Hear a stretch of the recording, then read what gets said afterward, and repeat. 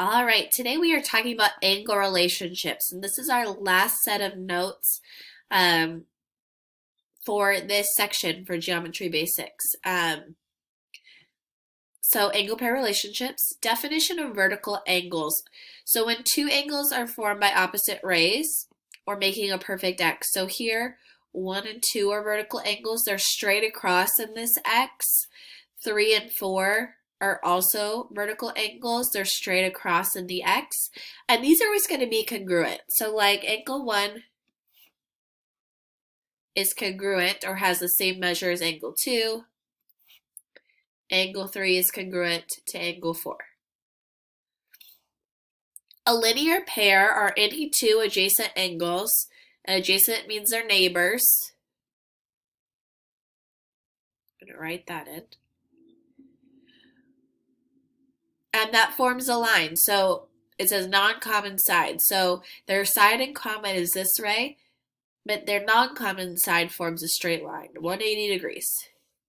Adjacent angles are angles that share a side and vertex, um, or their neighbors. Okay, so these are all adjacent angles. Well, actually, these are adjacent. They share a side and a vertex. This one is not. They do not share a vertex. And then all of these are adjacent, considered adjacent because they share a side and a vertex. Or actually, I'm sorry, like these two, 1 and 2 would be adjacent, 2 and 3 would be adjacent, 1, angle 1 is not adjacent to angle 3, just FYI.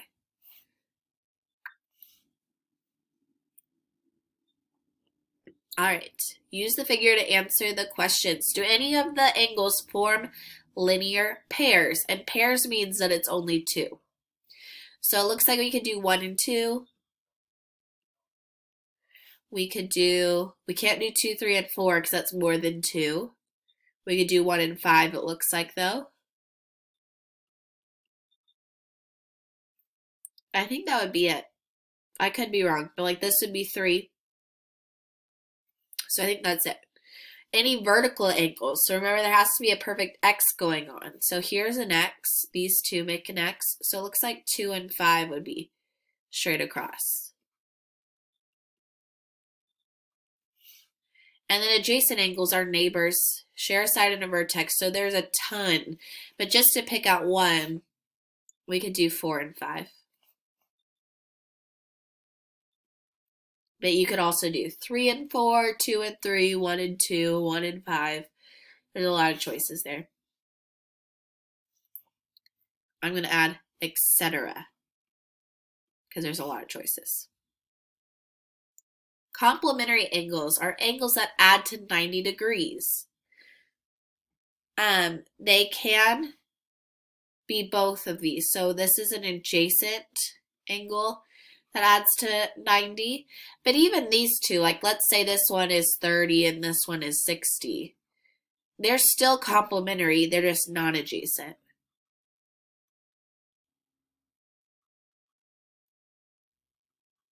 Okay, but they're still both complementary. Supplementary is very similar, um, but they add to 180. So same thing, these are adjacent these are non-adjacent, but still supplementary. All right, so next page. Name a pair of complementary angles. So that means they add to 90. So our complementary angles looks like it has to be these two. So FGK and GKL.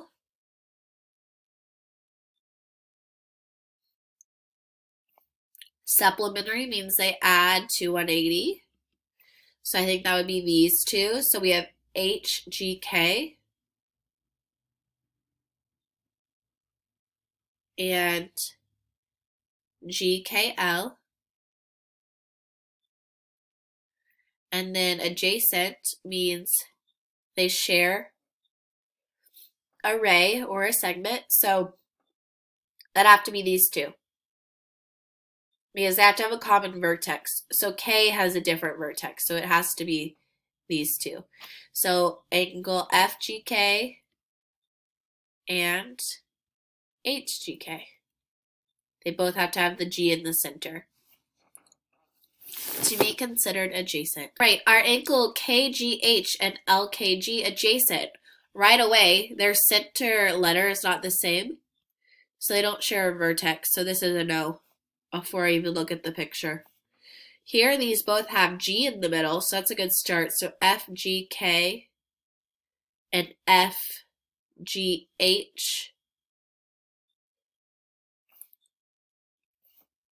So they're talking about this one, FGK versus FGH.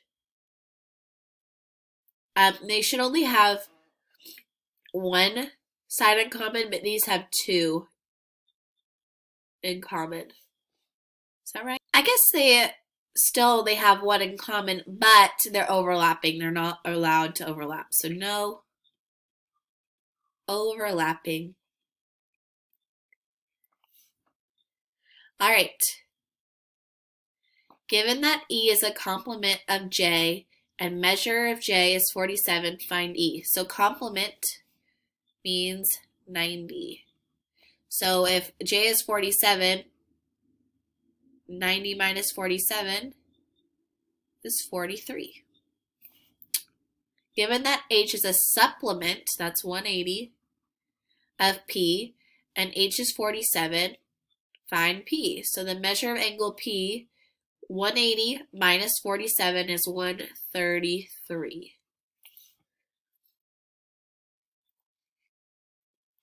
Y and O are complementary. Find their measures. So we know that they should add to be 90. So if I add them together, equals 90, and now I can solve this. So we get 9x minus 18 Add 18 to both sides.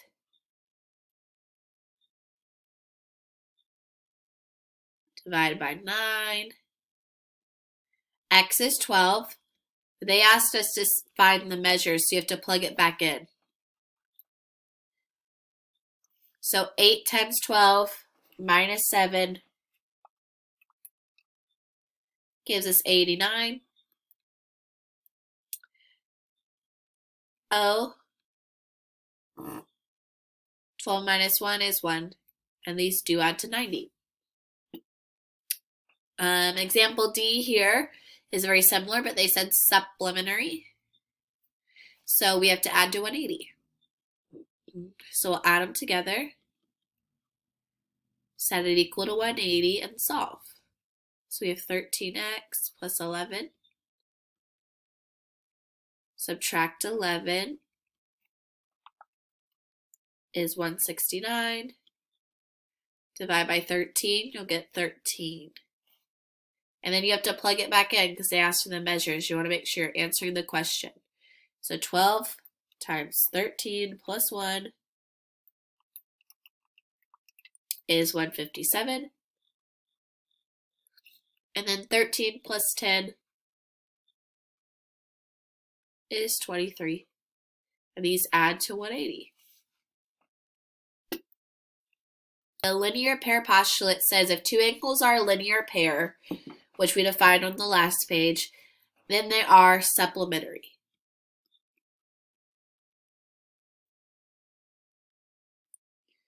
So if angle 1 and angle 2 are a linear pair, then they are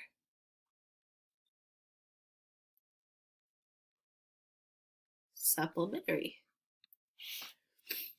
Vertical angle theorem. If two angles are vertical, then they are congruent. I kind of gave this one away on the last page already. They have the same measure. So if, for example, angle 1 plus angle 3 are vertical, angles, then angle 1 is congruent to angle 3. That means they have the same measure. All right. Find the measure of the numbered angles. So what I like to do with these kind of problems is just fill them in and then go back and do this part. So straight across here, angle 2 also has to be 83.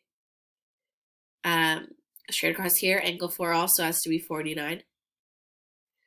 And then I know that these three have to be 180. So if I take 180 minus 83 and minus 49, I get 48. And then straight across this is 48. And then you can go back in and fill in what they were asking you for.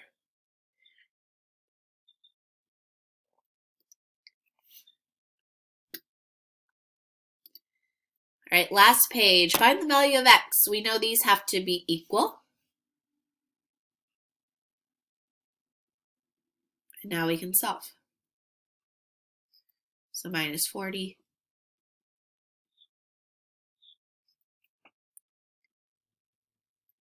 And divide by 2.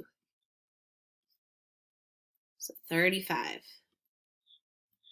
Um, these have to add to be 180 since they're a linear pair.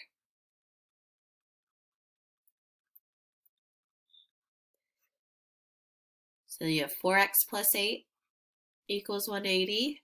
Minus 8 would give us 172. And divide by 4 is 43. Yep, 43.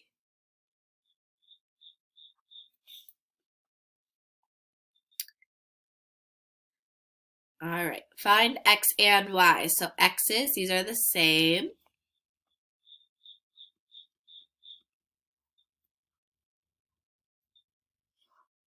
So minus 3x from both sides.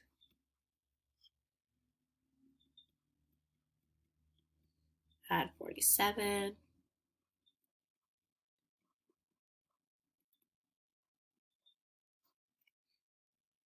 Divide by 2. You get 32. To find y, it'll be the same. Straight across there, equal.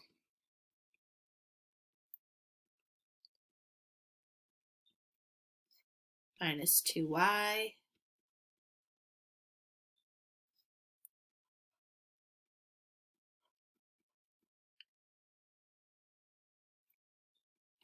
Add 20, you get 29.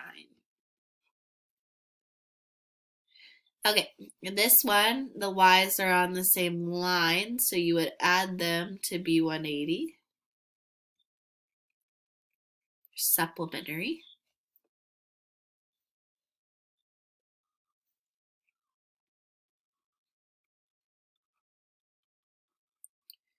Then add 20 divided by 4.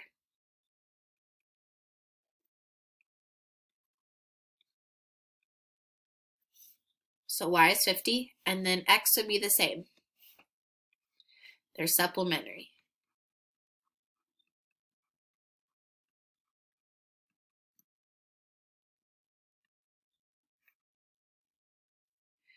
All right, so 8x minus 52 equals 180. Add 52.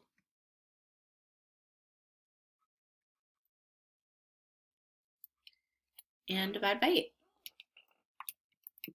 is 29. All right, so that's the end of these notes. And then your assignment for today is to finish up worksheet six in your packet. It should be the last one. And then there is a part two on Delta Math today as well.